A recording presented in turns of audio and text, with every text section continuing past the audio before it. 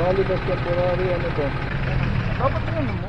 Ako po si Police Captain Ronaldo Minaldo ng Occidental Mindoro Police Op- ah, Provincial Highway Patrol Unit. As, ako po yung team leader dito ng ah, Occidental Mindoro na naatasan na magpatupad ng mandato ng Highway Patrol Group sa pamumuno po ng aming ah, buting director General Alexander ah, Tagom at sa panguna rin po ng aming regional chief Police Lieutenant Colonel uh, Renante Reyes. So basically sir, ano po yung operation natin ngayon? Ah, ito po yung tinatawag na one time big time. O plan lambat sa ah, bitag sasakyan. O, ang ang ang ano po namin dito, ang amin pong uh, ini-implementa yung pagpapatupad natin ng ah, Republic ah, 4136 katuwang mga kasamahan natin sa LTO San Jose, LTO Mamburao at ang ating ah, Mamburao Municipal Police Station sa pamumuno po ni Police Major ah, Borlado.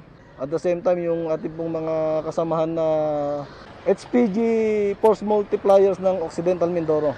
Sila po yung mga katuwang namin dito sa pagpapatupad ng kayusan at kaligtasan sa kalsada, pagpapatupad ng umiiral na batas sa 4136 at paghuli dun sa mga nagbabiolate sa mga traffic laws natin. Sir, as per your experience, ano yung usual na violation na nakikita po natin sa ating mga motorista dito po sa Occidental Mindoro? Ah, dito sa Occidental Mindoro, ang usual ko na nakikita sa mga lalo-lalo na yung mga riders is maraming walang license na nagpapatakbo. At the same time, ah, yun nga wala silang gaano mga protective protective gear, kasi yung ano, yung pagsuot ng ah, helmet. Yun yung mga nakikita naming ah, violation ng mga ano dito, mga nangungunang violation ng ating mga motorista. For example sir, magkano yung ah, penalty natin? Halimbawa, walang lisensya. Sa walang lisensya, ang alam ko po dyan, dahil ah, LTO po yan tinutubos, ah, nasa 3,000 po ata yan. Oh, 3,000 ang penalty niyan. Yung walang helmet is nasa, I think is 1,500. Oh.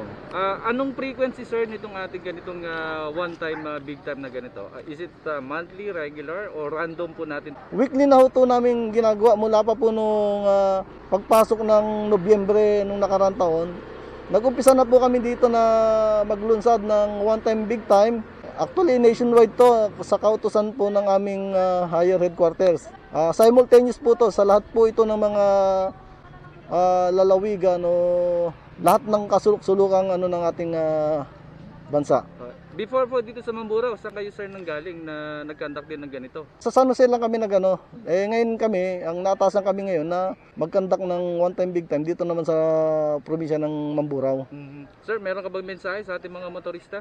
Opo, ang mensahe ko lang po sa ating mga motorista, eh, alam naman po natin na eh, ang kalsada po ang ay napaka delikado po ng nagmamaneho ng mga walang lisensya at walang kaalaman pagdating sa road courtesy ba. Kasi ang mga ang mga kababayan natin na walang lisensya ay hindi dumaan sa tamang pag-aaral yan at pag-seminar. So wala silang alam pagdating sa mga road markings, road signages, hindi nila alam yun. Ang alam lang nila magpatakbo ng mabilis hanggang sa ayun na ang nangyayari. Una-una kumuha talaga dapat ng ano, ng lisensya para malaman nila yung mga rules and regulation at at the same time is maalagaan din nila yung ah, safety ng ibang motorista. Hindi lang sila. Oo. Maraming salamat sir and magandang hapon po.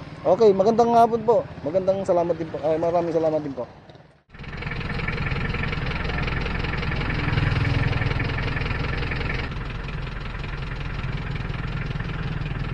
Pakitabi niyo lang na maayos mo na din.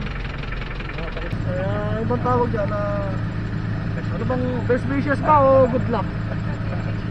Ha? Ay, congratulations sa inyo ha.